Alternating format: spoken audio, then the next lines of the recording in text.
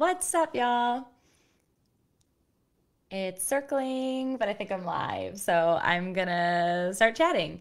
I am super excited to be here. I have not gone solo live in the Facebook group in a while, other than maybe when I'm on the move. Um, but I have been dropping some information to you guys. I've been sending some love your way. I've been sending some just um, quiet moments and kind of reflecting and using you all as a space to drop my journals even outside of Instagram uh, because I don't even know how many people see the algorithm anymore or see posts anymore.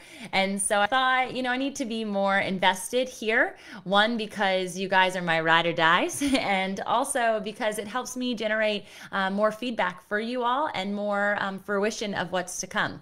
So I see some live eyes. You guys can drop me some comments, say hey. Uh, hopefully, this lands with you. But this morning I was on my Peloton and preach, and I don't know if you guys have seen that, but at 6 a.m almost every day if I have access to the Peloton, meaning I am home and not traveling. I'm jumping on and just sharing what my quiet times have been about. And I've had so much fun doing it. So I wake up, I get my coffee, I am having just quiet time in the Word, in the new book that I'm reading, in multiple books, as you might listen and hear. I read a lot. So I'm constantly um, consuming information, but the most important part of that consumption is digestion and then delivery, right? And this is not what I intended to share with you, but I think even as we go to conferences, which I did last week and wasn't able to be on the Peloton and I missed it so much.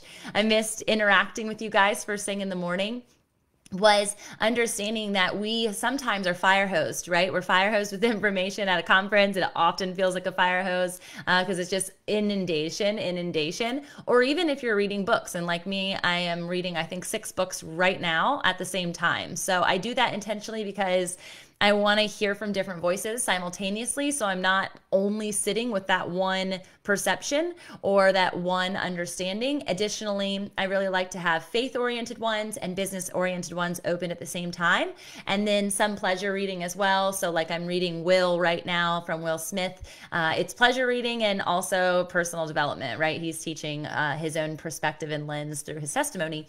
However, the way reason I came on this morning, beyond just marking your calendar for six o'clock, I'm live on Clubhouse and live on IGTV at the same time. And yes, you get to ride your Peloton with me. So if you have a Peloton or you want to go running and work out with me, um, you'll hear me laboriously breathing. and, and it's a very good public speaking practice and tactic that I am coming to find taking breaths when need, taking pause when need, while also working my way through the conversation and the workout at the same time. This morning, I was talking about a new book that I just opened this morning. I just freshly opened the bind. There's nothing better than that. I actually intend to have a library at some point uh, that people can come and just kind of really check out and explore. And I'm sure it'll be a part of my retreat habitation wherever my husband and I decide to do that. Um, but for now, I'm just going to share with you every time I open a new binding, and this one's going to be really good. Uh, it's by Tom Ziglar, Zig Ziglar's son, and it's called uh, Choose to Win, I believe. Choose to Win. It's not in my line of sight right now, but it's really good thus far. And if you don't know the Ziglar family or the Ziglar Foundation, they do speak to God, even though they're also speaking to the greater population. And so I love that side of when I read the book, I get to talk into my faith and lean into my faith and explore that as well. Uh, so he was talking about something called the Trinity Transformation, which of course piqued my interest because of the Trinity. And I'm thinking, Father, Son, Holy Spirit, what is he going to share? And he started sharing about desire, hope, and grit. What does that mean? How does that apply to you? Especially in the beginning of the new year, it was talking about goals. It was talking about how we activate every single day. And you know, activation is my heart set. And so it was basically saying that desire is the first element of achievement or success or movement, even. And so you have something that's dropped in your spirit. It's often a God dream, is what I like to call them, or a God wink, or an intuitive intelligence, meaning God is literally dropping it into your spirit. And it's a prompting, it's an understanding that I am meant to do something, whatever that desire is. Maybe it's to marry, uh, maybe it's to have a child, maybe it's to start a business, maybe it's to host a retreat or a conference or write a book, right? Or speak on stages, whatever that desired prompting is. The very next one is hope. And the hope is what he calls the the motivator, the activation piece. So we can sit in desire, which is ultimately sitting and dreaming, wishing maybe all at the same time, and often even potentially praying, right? I'm just praying for this thing. I'm praying for this desire to come to fruition. And yet, where's the motion? Where's the movement? We know biblically that in every miracle ever given, um, every miracle ever exampled in the Bible, specifically with Jesus, but also with the disciples thereafter. Uh, there was an action that transpired after the desire. So the lame man wanted to be able to walk, the blind man wanted to see, right? We want this thing, we desire something. But before every miracle, there was action, even before the miracle was given. And therefore, the action, the request on behalf of the recipient of the miracle, was that they not only speak out to say, Yes, I want this, this is what I need. So they voiced the desire and then they acted, they moved, they hoped. Hope is an action. They hoped toward the outcome. And so let's give an example of the lame man again is he said, "Do you want to get well?" Right? Do you want to be able to walk? He made him voice it first, and then he said, "Good. Pick up your mat and go." So he didn't say, You're healed and miraculously, boom, it's done. He made him do something, he activated him. And in that activation, in the standing of, his faith arised. Right? And so it's this understanding that we have to desire, move into action through the hope, and then with Zig Ziglar and Tom Ziglar's understanding of the last piece, it's that grit. They both speak to this. And I am not a hustle kind of person, right? I don't believe in the hustle. I think hustle eliminates rest, and I think rest is really important. I think Sabbath is very important. I think having a spirit of rest, even if you're moving, is also really important. It's been something I've been dissecting and developing over the last several years. Is how can you do it all? They say, right? How are you moving so fast? I've actually had people tell me that I'm going to burn out and I'm going to potentially experience adrenal fatigue or that there's no way I could maintain the pace that I'm at. That was two years ago, by the way, that conversation. And I am still moving, if not at a faster pace. And so it's this understanding that it's a Holy Spirit leniency, leniency, leaning into, not leniency, leaning into that allows me to do this amazing thing, right? And these amazing things. But grit is a different word. I like grit ironically, I was um, looking at my desk earlier and I have a beautiful friend by the name of Gina. Let's see if I can get you into focus. Where are you? There it is. Can you see it? It doesn't want to focus, but it says Grit and Grace. And um, it's a wellness for mind, body, and soul. It's a new business that she's activating herself.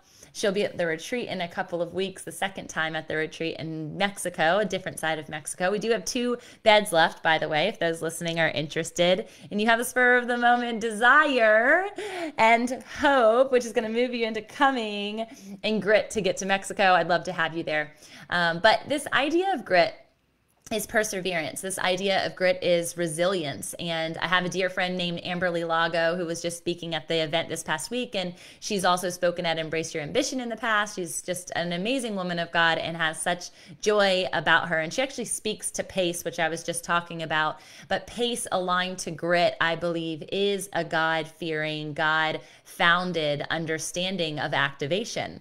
We do have to move we do have to do. And it's, uh, of course, a, a, component of being. And I get that fully. I want you to be in your identity while also activated in your identity. Just because I have a desire and I hope and wish doesn't mean that any of that will come to fruition if I am not in the state of moving, in the state of momentum, in the state of going after the goal. If he never stood up and walked and went, the miracle wouldn't have been such. So it's so necessary for us to understand that Tom Ziglar's example of this Trinity transformation is it's good. It's pretty good. Uh, I I thought through a bit more. How would I decipher this? I think it's important when you're given information that you actually chew on it a bit. What does it mean to you? Is it accurate? Does it sit well with you? Is there a way that you would maneuver it a bit, especially as a Christian entrepreneur that that premises itself more in the foundation of the Bible? And that's really my understanding and apply it to our business practices and also to be in the sense of energy and pace and that space of intuition that I mentioned earlier, which is an exploratory thing, right? And and the word is living and therefore with that alive factor, things are ebbing and flowing all of the time based on the season you're in, based on your sense of awareness, based on uh, where your feet are planted during that season. And so God is always speaking, and because He's always speaking, I'm always exploring. I am always leaning in. I'm always trying, um, not trying, doing, right? Language is important. I am always listening. And I, I actually just hashtag something I was uh, getting ready to post. You'll see it later. It's a reel. And the hashtag I put in listen loudly.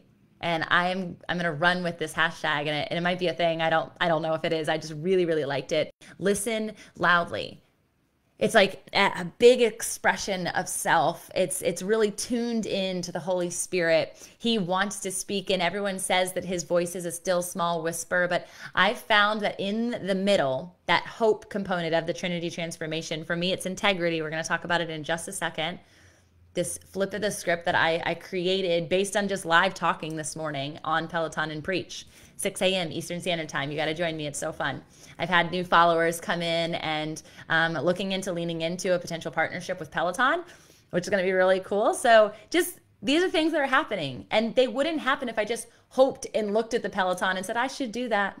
I want to do that. I'll try to do that. No, grit associated to the hope is the outcome factor. It's the pivotal piece that you have to put into play. I just said lots of P's, pivotal place that you have to put into play in order for the outcome to exist. And so I'm sitting there and I'm processing this uh, live this morning on the Peloton and Preach. And I thought, you know, I like desire, hope, and grit, but one, it's somebody else's. And two, I feel like it's missing some elements, elements of rooted foundation that I've come to understand. And so I shifted it to intention, integrity, and interaction.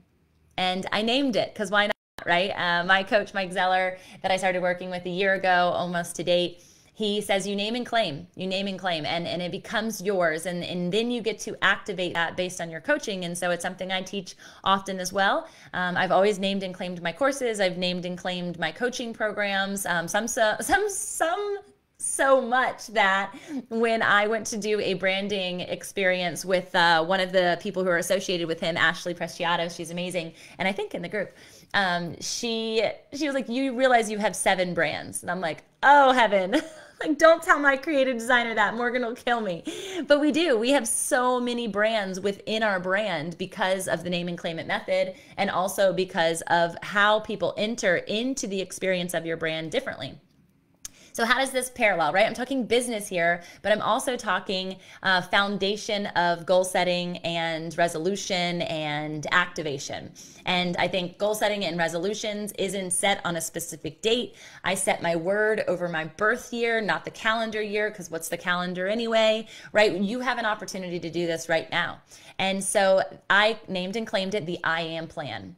And what I mean by the I am is obviously associated to the great I am because identity is the factor of all three of these next three I's that I'm going to mention um, and did mention. However, it's also a proclamation, right? I am doing this thing. It's the social contract that you might have heard me speak to before. Social contract is when you say it out loud and you tell your community, I'm going to do this thing. Like I said, I'm going to do this Peloton and preach, right? I didn't commit to an exact amount of time that I was going to do it. I didn't commit to every day at six o'clock, but anytime I'm on the Peloton, I will be doing this thing.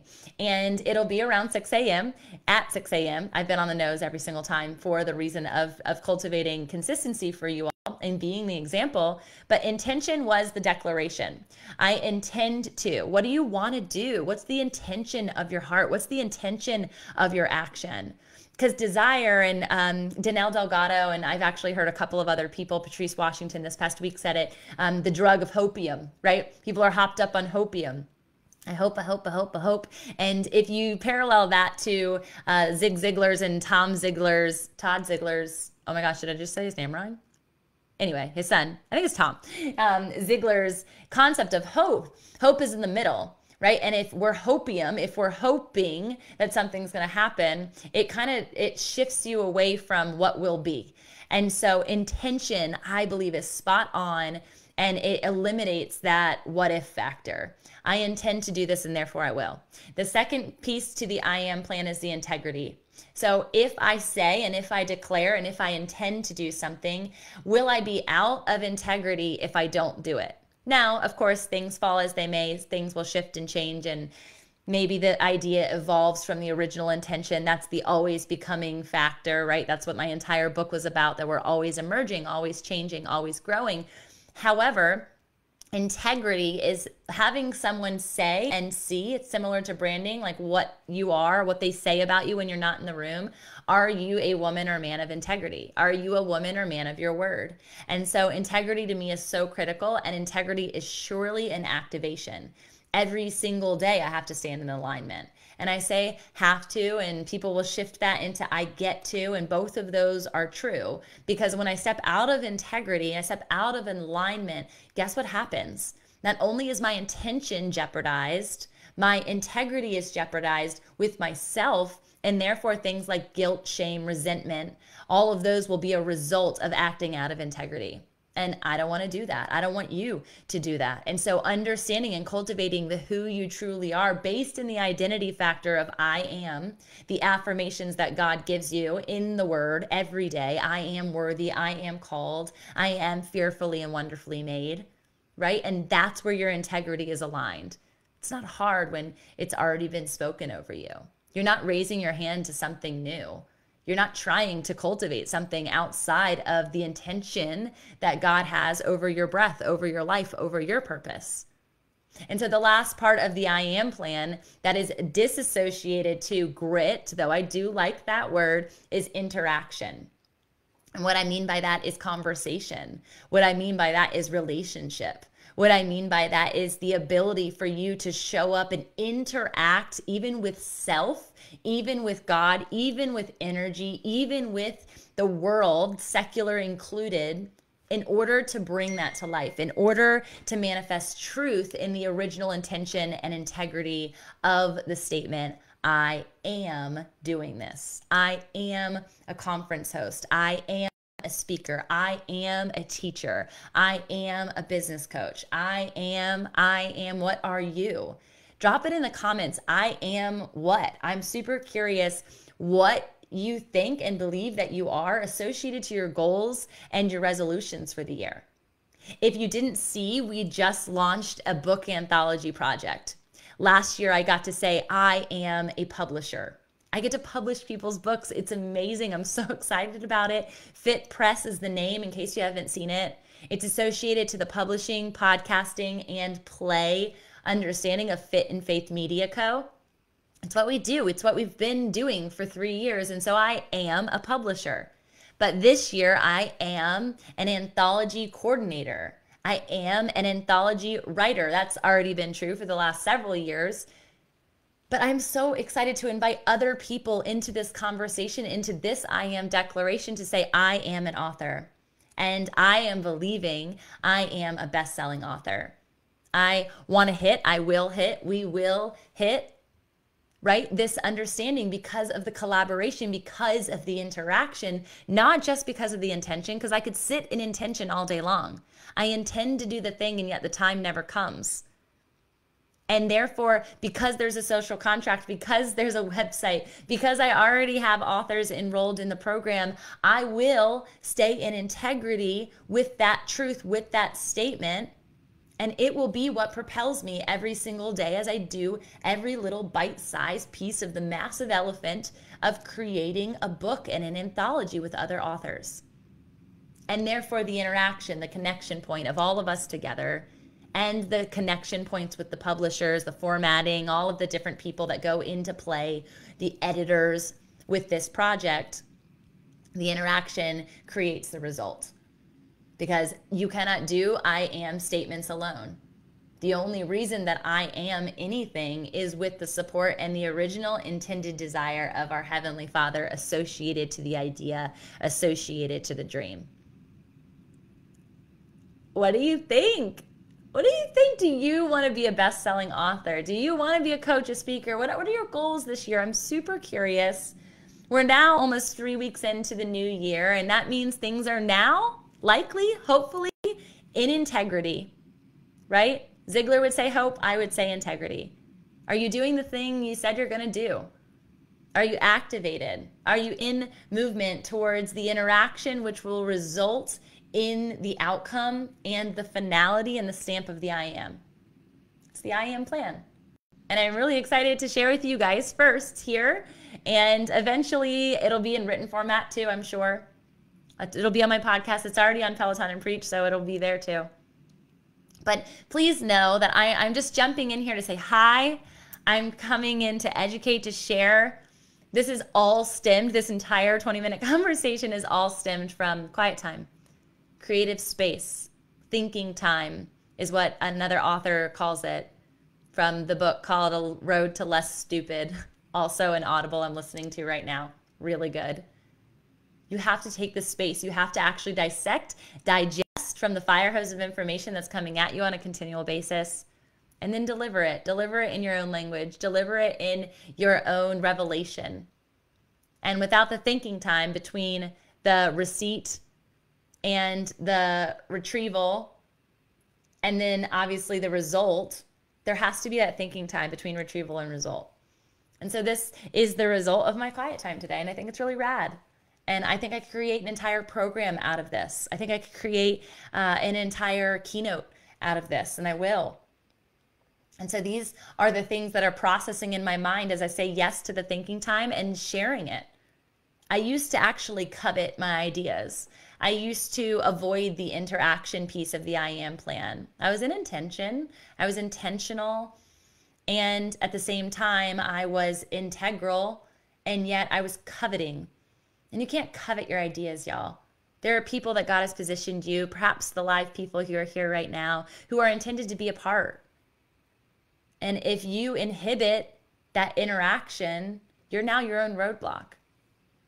And so I, I wanted to share and I can't wait to hear your feedback. And it looks like I might have live comments off. So for any of you that are here um, live, I see you. Ah, they removed, they moved it. I see Kelly. I see Leanne. Oh, yay. I see Liz. Oh, my friends. I love all of you guys. Oh my goodness, so much stuff. Integrity, yes. It's inspiring, Kelly. I'm so glad it's inspiring using your gifts and talents to bring him glory. Yes, Liz, God strategically placing you in places of obediently walking out the calling of making disciples, even if it's a Peloton. That is right. It seems silly, it seems crazy, but wait till you see all the goodness. I still haven't taken the time to process everything from last week, but I am off work tomorrow. Yes. Oh my goodness, Leanne. Like I said, that reflection point is so critical for what's to come. Marcus, I see you, brother. Oh, this is so fun. I'm so glad that you guys were here. I hope that, that it met you. Again, um, reading the book was what prompted it, and then asking the Holy Spirit, what do you say about this? That's really one of the biggest reflection points and how I activate on a consistent basis and how I show up for you all. And so I am always uh, surrendering my mouth, surrendering my words, surrendering my spirit to the will of God. And so I hope that it just meets your heart, meets your head, meets your home meet your handbag, right? And it meets your health. Those are my five like circle components. So Leanne, if you're listening, you saw so many people share wheels. You you had them share the finances, the physical, the mental, the soul, the spirit, all these things, right? The body health. Those are all super critical. I renamed them myself because I love a good alliteration. So it was originally called the 5H model, but I didn't like that because it doesn't mean anything to anyone. And so I dissected it a little bit more. I cultivated a bit more, and it's now called the Joy Zone. And I feel like in order to be in the joy zone, you have to always be understanding of where you fall, where are you being ranked currently in the five H's. And so it does have a priority list. Unlike the wheel, a lot of people say that there is not one specific priority uh, based on a season, based on a day, based on a need. I disagree. Um, you cannot not put spirituality as number one. I've done that and I crashed and burned. And I know many people who have done the same. And so you have to prioritize heart. And then heart leads to head, right? And uh, the head is the mindset, sure, if you want to call it that. It's the mental health, yes. So it's a component of depression, anxiety, intention that we were just talking about is a huge part of the head, right? And so, heart first, we know that out of our heart, our mouth will speak. And therefore, that is a component of head and it's a component of our thoughts. Our heart will direct that. And though we know that our heart can be deceitful, and that's actual scripture from the Bible, if we are connected and the thing that's fueling us is the Holy Spirit, it changes everything. And the things that come out of your mouth are gratitude, and the things that come out of your mouth are word, and the things that come out of your mouth are worship and warfare. And alignment stems from there. And so then after head comes health and I say health before home, and I've flip flopped it home to health sometimes as well. But I really believe that health is that component of body. And when I am tired, when I'm not getting sleep, when I am not fueling my body correctly, a lot of things transpire and trickle off of that that keep me inhibited from being my best, joyful, spirited, free dancing, strong mama self. Right? I can't give to my husband in the same way because I am physically depleted and therefore sexually depleted. This is real talk, y'all. Right? It's so critical. And so, heart, then head, then health, then home. Because if I prioritize home, and that's what a lot of women do, right? We're, we're nurturers, we take care of everybody else first. These are messages, if you were at the Align conference, you might have heard, but this is a different perspective. Because it's not take care of this, this, this, this. It's, it's a prioritization of. And that is alignment. And there are things that are often said or read or heard that if you don't put them in position of what does God say about this, it's going to fall on deaf ears or it's going to fall on a spirit that's receiving it wrongly and therefore activated inappropriately. And then this entire Trinity transformation conversation that we're having wouldn't work. It wouldn't work because you'd be pursuing the wrong thing in the wrong time with the wrong sense of energy. And so if you're hustling really hard over your health right now, because it was told that that's a really good New Year resolution or a really good goal, it's noble for sure. But are you prioritizing that? Is it becoming a false idol? I'm in the middle of a fast right now. I've got a few more days of a 21 day fast that my church is participating in.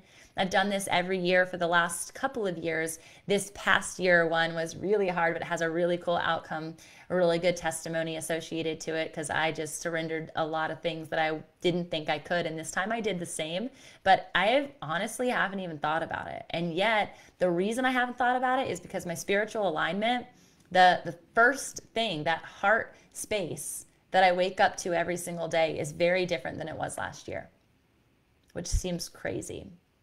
I couldn't think that I could love Jesus any more than I do, but here I am. Here you are. And that's the seeking and knowing and finding, right? So I'm telling you the joy zone. I didn't know I was going to talk about it, but why not? Here we are. And we talked about heart, we talked about head, we talked about health, we talked about home. Don't allow yourself as a mama to put the babies and the husband and the friends and the job and all these other things first and forget about yourself. Don't say, I'll do that if there's time. Time is of the essence, friend. Time is limited. I wake up as early as I do, and for those that know me, you know early is early. Sometimes as early as 3:30, but usually before 4:30 in that gap of window. It's bananas. If you had told me I was going to do that forever, oh, you're going to wake up at 3:30 on a regular basis, I would have thought you were bananas right? But that's just when God speaks to me. It's the time that is sacred. I fuel myself in that time so that when my home lights turn on and they come downstairs and I hear the little pitter pattering, I can be fully present. And I'm operating as a conduit. I don't even say overflow anymore. That's what I used to say till I was corrected by the one and only Pastor Anthony. Because overflow means at some point I am depleted and I'm not connected anymore right? And honestly, at the overflow, at some point, there's less than for yourself. And if I'm constantly giving everybody else the overflow, what do I have to drink? And so being a conduit is like being a funnel, soaking in his goodness and allowing myself to be a conduit for other people to receive, but never running dry. It's the example of being planted by the river. That, that tree is never void or vacant of nutrition of nourishment because it's planted in the right place. And so that is what I hope you can be. And remember, hope is connected to action. And therefore, when you prioritize these things, as I'm mentioning, the joy that so many people see in me as a natural gift and talent, it's not natural. Sure, there's a light, there's an energy, there's a love, and it's been magnified since coming to know Jesus in a way I never knew possible but it doesn't turn off because the camera's off. It doesn't turn off because the lights go dim. It doesn't turn off because the stage isn't there. It doesn't turn off even when my body is resting because of the prioritization, because of the ability to be a conduit. And then lastly is the handbag of the joy zone. And and this is honestly what a lot of people prioritize, right? They prioritize money they prioritize the things of this world. They prioritize their clothes. They prioritize their car. They prioritize their house. You know how many people are driving around right now in very expensive cars that they can't afford? Or they're living in houses that are completely creating a, a deficit to their bank account. Now, I'm a believer in real estate. I'm a believer in all of those things and, in creating uh, financial security for yourself and legacy. But we have to live within our means before God provides more to our means. We have to be stewards of our finances. We have to be stewards of the gifts that we have right now without putting false idols in front of them. I joke, and yet I am dead serious. So I say often, I'll say, in a light-hearted manner because I don't know what will be, but I am intentionally and in integrity pursuing a private jet that sounds crazy, right? I was I was joking at a mastermind and I was like, oh yeah, I want that PJ. And one of the gals was like, wait, what? Whoa, that's another level to finances than I think all of us are desiring. You want a private jet. Like, I do. Now, how do I get there? It's one step at a time, but it's in integrity. And the reason I want it isn't for me to just go plane hopping island to island, it's to bring the masses the interaction of the people and the family that I'm associated to, they will be on the plane with me. When we go to the nations as we're called to do, they will be on the plane with me. My children, my family, my husband, they will be on the plane with me. And financially, in the long run, it's the right thing to do. It makes the most sense. It's the safe thing to do. And therefore, why not? So it's not a matter of not thinking big or wanting big things or desiring large, massive outcomes, even in your business. I want those things for you too. But it's not about the number in your bank account, it's about the number you can give because of your bank account. It's about the change that you can create, the impact, the legacy that you can leave because of the overflow of your bank account. Again, it shifts from overflow to conduit. What if your bank account was a conduit? What if the moment it went in, it went out? That's what I've been doing in this business for the last four years. And I'll tell you, it's proven hard at times. I've felt void, I've felt empty, but God has never failed me once. He's never failed my team once. And so when I ask them to trust me, even though it doesn't look like any of the numbers are going to add up or nothing is going to go to fruition or the outcome of the new uh, launch didn't happen the way that we had hoped, God always perseveres. He always comes out on top, He always wins. And it's a component of my intention that allows that to be true and the language in which I stand in every single day. It's the fuel in which my heart set creates continued embers for other people. And that's because of the prioritization of spirituality first, heart first, God first, Jesus over everything. It's not a wheel, y'all. It's an alignment. That's the variation. That's the variation of teaching that you often see. You cannot, you cannot, you cannot do it any other way. And I'm speaking specifically just for my testimony, and you guys know that. And if you don't, you can read my book and you'll find out all the good details. Always becoming sex, shame, and love gives you enough dirty secrets on the cover to make you understand where the fail point was, where the trigger points are, where they were, and where they might be. And so I'm very aware of all of those things, and you have to be too. But the final word, love, capital L, unlike the ones before it, those, that it, he is the prioritization. It's the most important piece. It covers all. And I just have to stay in that space, and so do you. So come hang out with me on Peloton and Preach. If you like this, I'm there at 6 a.m. every day. Ideally, that I am in town, I am on there. Clubhouse or IGTV. And if you miss it, you can catch it later. You can catch some replays and you can also catch some clippings that the one and only creative designer Morgan Hart puts together. And also Janice will snag and put into email. So if you're not on the email list, uh, we send out regular information so the algorithm doesn't bump us out of queue.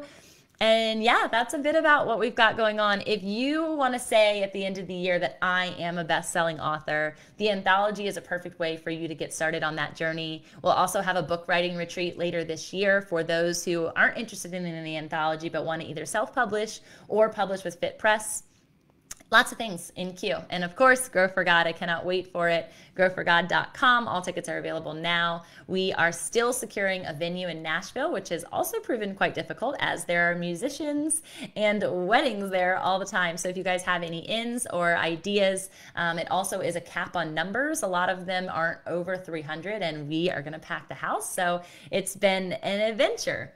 But yeah, my intention is that it's still going to be big and I stand in integrity in the vision of what God has given me. Therefore, I activate and the interaction that will be on the outskirts of that, which is the multiple hundred people that are in the room, is going to be magnificent and it'll be worth the investment of time, energy, and grit that it's taking to get there. I love you guys so much. I hope you have an amazing day. I'm so glad we got to chat today, unintentionally and yet fully with intention. Love you guys. Chat soon.